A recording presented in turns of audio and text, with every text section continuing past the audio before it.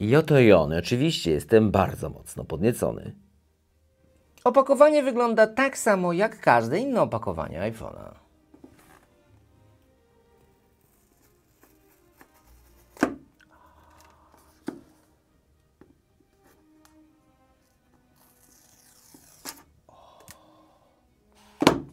Satisfaction.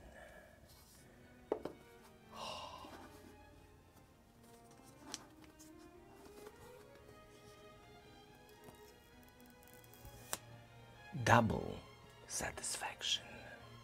W zestawie również mamy przewód USB typu C, bardzo luksusowy, jak i narzędzie do otwierania tacki SIM, instrukcja obsługi. Nie ma naklejek, lecz podobno, gdy udamy się do Apple Store i potwierdzimy nasz zakup, dostaniemy takowe za darmo.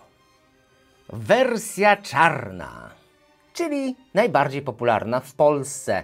No, u nas co czarne, to popularne. Trzy kamery, lidar, flash, no i oczywiście mikrofon. Z iPhone'em oszczędzasz na rachunku za prąd. iPhone przychodzi prawie całkowicie naładowany. Urządzenie dobrze trzyma się w dłoni. 120 Hz robi genialne wrażenie, a całe urządzenie jest zasilane iOS-em 18. Z pudełka jest to starszy iOS, musieliśmy zrobić aktualizację, no i mamy najnowsze oprogramowanie. Poza tym do smartfona dostajemy kilka gratisów, takie jak Apple Music na 3 miesiące, Apple TV na 3 miesiące i Apple Arcade również na 3 miesiące. Kod ważny do końca roku. Ale tak w gruncie rzeczy ten smartfon nie różni się za wiele od poprzedników. Tutaj jest praktycznie to samo z wyglądu wszystko, więc zerknijmy bardzo szybko w sferę kamery. A w sferze kamery mamy ten dedykowany guzik i przyciskając go delikatnie mamy możliwość zrobienia zoomu. Głaskając go. Aż do 25. A gdybyśmy przycisnęli mocniej, to powinno się zrobić o, moc, i zrobić się zdjęcie, ale jak widzieliście ten delikatny ruch e, aparatu całego, no właśnie, dlatego lepiej przycisnąć i w ten czas ten ruch jest mniejszy, on te w RAWie 45 megapikseli, RAW Max troszeczkę długo wgrywa, a teraz gdybyśmy tapnęli, to może się zmienić na zoom, możemy zmienić na głębie, ekspozycję, o, jakbyśmy chcieli. I lecimy dalej. No nie jest to takie super intuicyjne. No. Ojej. Ojej, no weź się.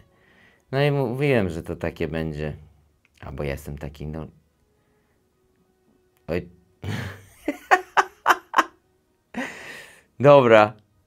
I tu jest jeszcze style i ton. Ja już jestem mocno poddenerwowany tym wszystkim, ale to jest tylko jedna funkcja, której nie musimy używać. Proszę Państwa, sprawdźmy sobie próbki, jak to urządzenie nagrywa i robi zdjęcia. Ten smartfon może maksymalnie nagrywać do 4K 120 klatek na sekundę, ale dla celów tego wideo jesteśmy w 4K 60. Przednia kamera, czy w przedniej kamerze mamy autofokus? Sprawdźmy to. A sprawdźmy to, powiedzmy, na liście. Ten będzie bardzo fajny. Wow, ilość detali jest niesamowita. Robi wrażenie. Czy prześwietla niebo? Troszkę prześwietla, a gdy wyjdę z kadru, kompensacja dość szybka. Prześwietla, gdyż chce rozświetlić nam troszeczkę naszą twarz. Przypominam, że jesteśmy bezpośrednio nad słoneczkiem. Pełne wyciągnięcie ręki do vlogowania bardzo dobre, a mikrofony zbierają mm, najlepiej w swojej klasie. To są najlepsze mikrofony, mogę to szczerze powiedzieć, w jakimkolwiek smartfonie. Zawsze iPhone te mikrofony miał. mm, numer jeden, numero uno. Kontynuujmy. A kontynuujmy do szerokiego obiektywu, a w obiektywie szerokim mamy piękną tutaj sadzawkę. A w sadzawce czy znajdziemy ryby? Hmm. Ja już widzę rybę. A czy ty widzisz? Pewnie nie widzisz, więc zróbmy zbliżenie. A zbliżenie jest bardzo gładkie i przyjemne. I znajdziemy rybę. Proszę bardzo. 15 razy maksymalny zoom. Jest i ryba. A rybka lubi pływać. Odchodzimy i pięknie to wszystko zostało sfilmowane. Możemy wrócić z powrotem, zobaczyć z bliska tę fontannę. Zobaczcie, jak genialna jest jakość w zoomie. A niby nie ma peryskopu. Jestem zszokowany takimi możliwościami technicznymi. No dobrze, ale wracając do szerokiego obiektywu, najważniejsze pytanie, czy jest autofokus. A po co ci autofokus? Po to, byś mógł pokazać osobie detale w najwyższej jakości. Wow! No, można powiedzieć, że to robi wrażenie. Vlogując, również mamy maksymalne możliwości. Vlogowa w tak szerokim obiektywie wygląda to pięknie. Jeszcze raz te mikrofony, czy dobrze zbierają, gdy patrzymy do głównego obiektywu? No właśnie. Ja jeszcze nie wiem, ale ty już pewnie e, wiesz. Kontynuujemy do koloru, troszeczkę koloru dla Państwa, proszę bardzo. Czerwony, jakby nie było dostępny.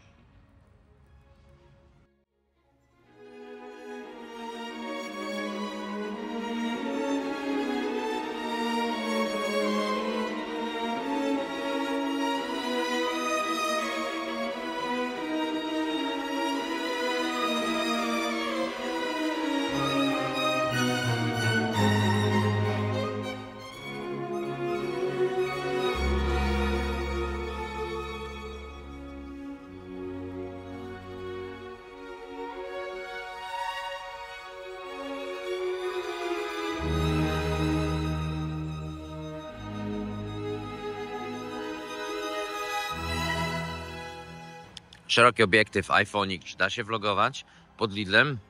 Ja myślę, że da. Główny obiektyw już zdeczko lepiej, a z nami dzik. Ofrędzolimy dzika pod Lidlem. Wygląda nieźle. Przednia kamera, o, ziarnisto, słabiutko. W nocy przedni iPhone, u, to już lepiej z głównej ładować. No pewnie. Mm. To jest różnica, nie? W przedniej kamerze. Co ten dzik taki twardy, gumowy? Dobry, ale za twardy. Trzeba mieć zęby ze stali, żeby to, to, to, to. No pamiętajcie się. No dobra.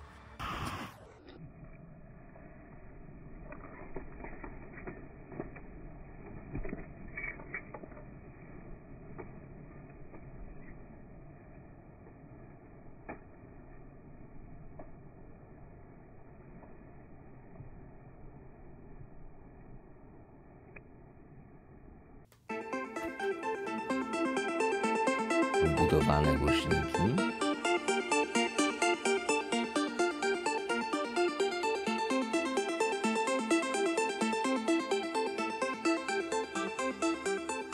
grają przepięknie, a dodatkowo wibracje, które doznaję, są niesamowite i mam wrażenie, że mogą to być najlepsze wbudowane głośniki w smartfonie na świecie. Jeśli chodzi o baterię, no to muszę potwierdzić, iż jest lepsza niż, no dłużej trzyma, w poprzedniku, czyli 15 Pro, aczkolwiek daleko jej do Vivo X100 Ultra. Ale mam wrażenie, że ten smartfon jest dużo większy. Co za tym idzie, warto byłoby porównać baterię nie z regularną wersją iPhone'a 16 Pro, lecz Max, który jest równie duży. A co za tym idzie? Porównamy oba te telefony. A, szczególnie kamery. No, myślę raczej głównie. I zobaczymy, który ma lepsze. Ale to już w następnym odcinku, a również w następnym odcinku pokrowce, bo mam ich kilka i są ciekawe, jak i test samej kamery w iPhone'ie. Mogę jedynie zdradzić, iż to urządzenie jest naszpikowane najnowszą i niesamowitą technologią, a różnice do Ultry X100 Ultry są szokująco niewielkie. Który jest lepszy? Tego dowiemy się w następnym odcinku. Pozdrawiam i polecam. No może nie w następnym, bo będą pokrowce i dopiero.